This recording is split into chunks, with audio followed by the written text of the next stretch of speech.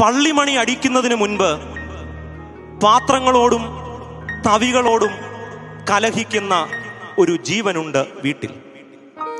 വിളമ്പിക്കൊടുത്ത് തനിക്ക് തികയാതെ വരുമ്പോൾ എനിക്കതിഷ്ടമില്ലെന്ന് പറഞ്ഞ് അത് വീതിച്ചു കൊടുക്കുന്ന ഒരു ജന്മമുണ്ട് വീട്ടിൽ.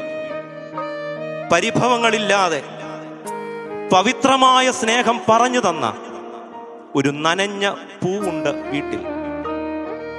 മുറ്റത്തെ ചെടിയുടെയും തൊടിയിലെ ചെറുമരങ്ങളുടെയും ദാഹം തീർത്ത കർഷക സ്ത്രീ കിട്ടാത്ത ഒരു മഹിളയുണ്ട് വീട്ടിൽ. മക്കളും ഭർത്താവും വീടും ഉറങ്ങിയ ശേഷം ഉറങ്ങി അലാറം അടിക്കുന്നതിന് മുൻപേ ഉണരുന്ന ഒരു ശരീരമുണ്ട് വീട്ടിൽ. അടുക്കളയിലെ ചൂടും ചൂരും നുകർന്ന് ശുദ്ധവായു ശ്വസിക്കാൻ മറന്നുപോയ ഒരു മറവിക്കാരിയുണ്ട് എന്റെ വീട്ടിൽ. പുറത്തു പോയവർ വീടണയും വരെ ഉള്ളിൽ തീ നിറച്ച് തേങ്ങലോടെ കാത്തിരിക്കുന്ന ഒരു ഹൃദയമുണ്ട് വീട്ടിൽ. പത്രാസ് കാണിക്കാൻ മറന്നുപോയൊരു നിലവിളക്കുണ്ട് വീട്ടിൽ.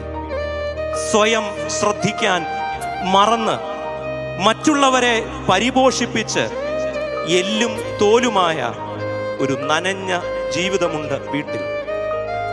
ഭംഗിയില്ലാത്തത് കൊണ്ടാവണം പ്രോഗ്രസ് കാർഡ് ഒപ്പിടാൻ സ്കൂളിൽ. അപ്പൻ പോയാൽ മതിയെന്ന് മക്കൾ പറയുമ്പോൾ കണ്ണാടി നോക്കി സ്വയം ആശ്വസിക്കുന്ന ഒരു പാവമുണ്ട് വീട്ടിൽ. മക്കൾ യാത്ര പറഞ്ഞ് പടിയിറങ്ങുമ്പോൾ മറ്റൊരു പ്രസവ വേദന അനുഭവിക്കുന്ന മാലാഖയുണ്ട് വീട്ടിൽ. ഒടുവിൽ ആ സാഗരവും കളമൊഴിയുമ്പോൾ അർത്ഥം മരിക്കുന്നു. കരയുന്നൊരു വീടും വാടിത്തളർന്നൊരു പൂവും പറയും അമ്മയില്ലാത്തൊരു വീട് വീടല്ലേ എന്ന്.